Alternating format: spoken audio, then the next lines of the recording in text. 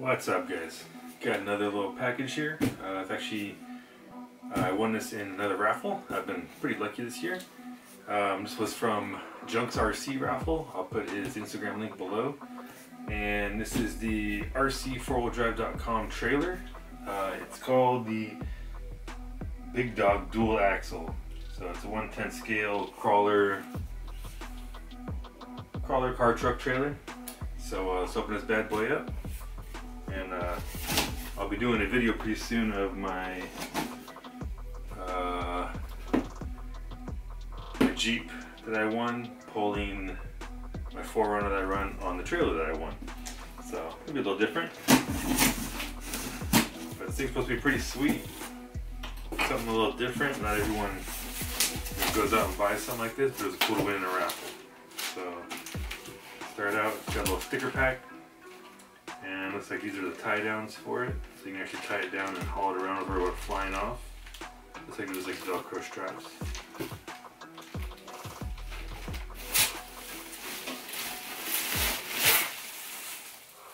Yeah. Bunch of cushions, very well packed in here.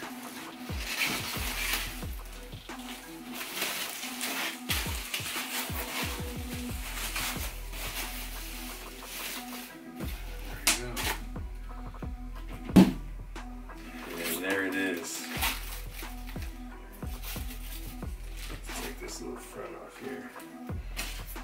So it looks pretty much like a real car trailer, which is freaking sweet. So it's got it's got lights built into it. Uh, it's got some on the side here, each side I guess. Uh, tail light, and then the uh, battery for it goes in this little container, you know, like a utility container. Uh, it's got a switch in here, on and off, off and on. Put a little 9 volt battery in there. It's got, oh, pretty sweet, it's got magnets inside of here to hold this on. You can hear it clip on there nicely. The actual thing here works to raise it up and down. It's freaking pretty cool. And then here's the hitch. It's just a little spring style. Um, any style regular hitch you go. I actually have bought a bumper with the hitch for the Jeep so I can you know, do a little video later. The tires, nice rubber tires, feels like they're cushioned inside of there. Um, I was told they weren't glued on, might want to glue them, but we'll see after I test it first. We're actually gonna make sure this one's in the groove there, it looks a little, a little wobbly. Stick from shipping. And then it also comes with some ramps. I haven't pulled these out yet, so see what these are like.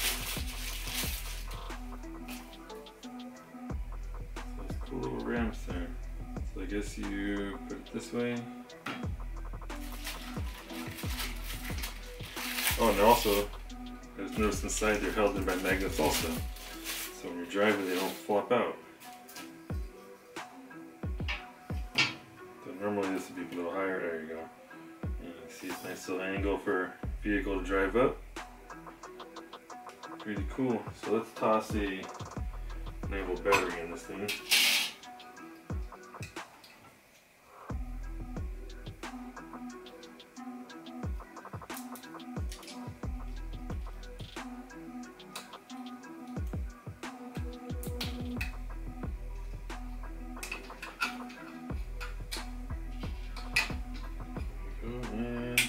Boom, flip the switch and there you go.